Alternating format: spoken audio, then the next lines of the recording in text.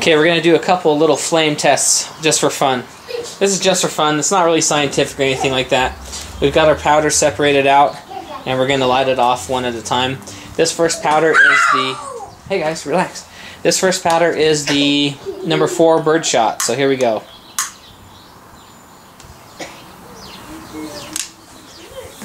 That's number four birdshot. Wow! Okay. Uh, The next one is this is the powder that came out of the Aguila, uh, the Aguila slug.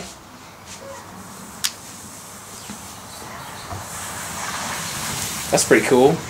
This, this is out of the federal one ounce slug. You silly butts. Whoa! Well, you can see that one burned a heck of a lot faster. Okay. Now this one here is out of let's see, this one is I believe the low brass yeah, this is low brass uh, federal.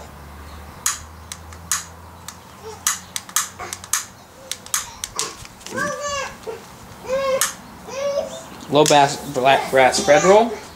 Okay, pretty quick. This is Winchester steel. This is the numbers two shot.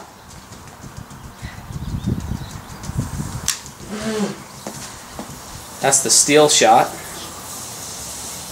Kind of slow, slower burning powder. Okay. Here is the Winchester, uh, or no, this is the. Uh, no, this one was the Winchester um, low brass, and this one is the Federal low brass.